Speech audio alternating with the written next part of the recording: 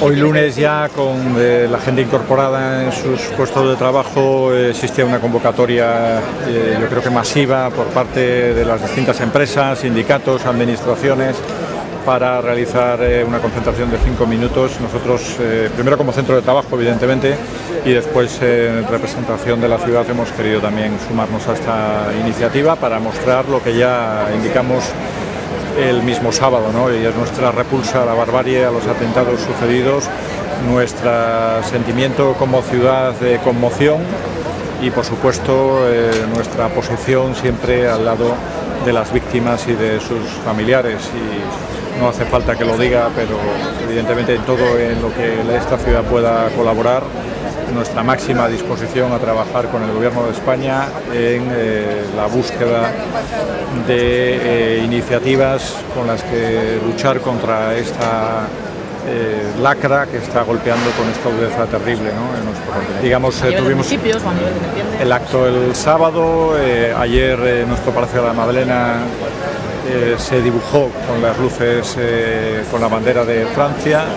Eh, hoy nos sumamos con este acto y por supuesto aquellos otros que se puedan convocar, con independencia también de que las, bandas, las banderas estén ondeando a media asta, nos vamos a sumar, ¿no? porque nuestra suma será la de toda la ciudad que en estos momentos vive asombrada y asustada también ¿no? por las imágenes que hemos tenido la oportunidad de ver y por esa sensación que yo creo que existe ¿no? de, de miedo a que suceda algo, ¿no? de, cualquier cosa y cualquier incidente pueda provocar en estos momentos pues eh, realmente un susto colectivo ante la posibilidad cierta de que esto que ha ocurrido en París puede ocurrir en cualquier lugar y en cualquier momento, ¿no? y creo que tenemos que ser conscientes de ello y abundar, por supuesto, en la lucha contra eh, estos atentados yihadistas que están provocando este tipo de masacres como la ocurría.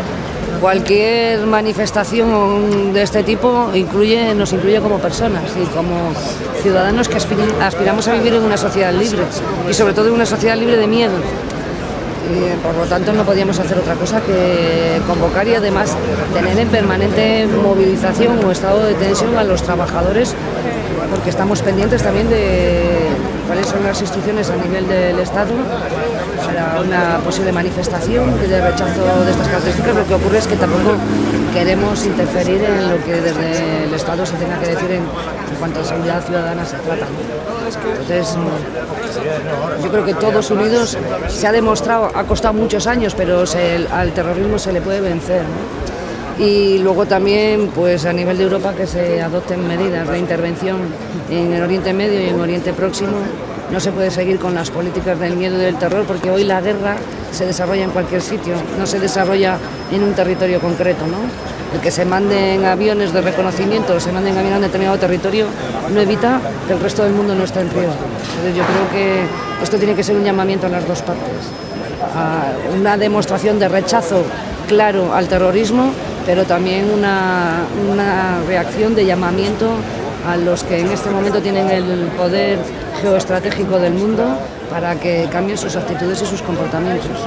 La valoración no puede ser otra, ¿no? Un sentimiento naturalmente de rabia y, y indignación, naturalmente, de solidaridad, lógicamente, con las víctimas, con el pueblo francés. Bueno, es un atentado contra la democracia, ¿no? Contra un modelo de vida, contra las libertades, contra la justicia, naturalmente, y esto exige pues, eh, respuestas nacionales, pero sobre todo internacionales, ¿no? de cooperación internacional y de un plan, en fin, lógicamente, de atacar las bases de raíz donde se generan estos problemas. Y está el tema del armamento, lo hemos comentado en alguna ocasión, es decir, eh, los gobiernos tienen que impedir por, por todas las vías posibles, cortar la vía de financiación para que estos grupos eh, estén armados hasta los dientes, como está ocurriendo. ¿no? Eh, y nos preocupa naturalmente y por eso debe haber una respuesta también europea de que esto tampoco sirva como excusa para eh, legislar para hacer retroceder en derechos de ciudadanía, en libertades, en el ámbito de la justicia, en, el movimiento de los ciudadanos, porque claro, esto puede dar lugar eh, pues a un recorte de libertad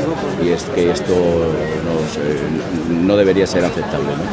Esta semana no sé si finalmente se hará, sino a principios de la que viene, muy dependiendo cuál sea eh, la iniciativa que tome el gobierno francés, eh, la previsión de hacer en toda Europa eh, manifestaciones en este sentido contra el terrorismo y especialmente contra el movimiento este.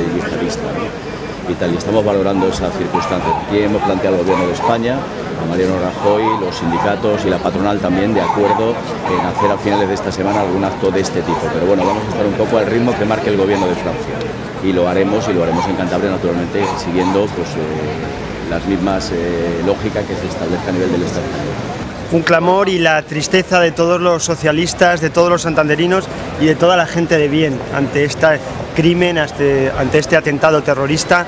Desde Santander queremos mandar nuestro cariño y nuestro apoyo al pueblo francés, la solidaridad de los demócratas frente a la barbarie terrorista Hoy es un día muy triste para la democracia, un día muy triste para Occidente, pero juntos, con la firmeza de la convicción de, que juntos podremos luchar contra el terrorismo, hay que seguir. Los demócratas estamos en esta línea y hoy era importante que los santanderinos nos echásemos a la calle porque compartimos el dolor. Los 125 muertos franceses son muertos que nos duelen en el corazón de Europa y también a los españoles, así que ese cariño a las familias de los fallecidos y ese apoyo a Francia y a los demócratas para salir juntos de esto.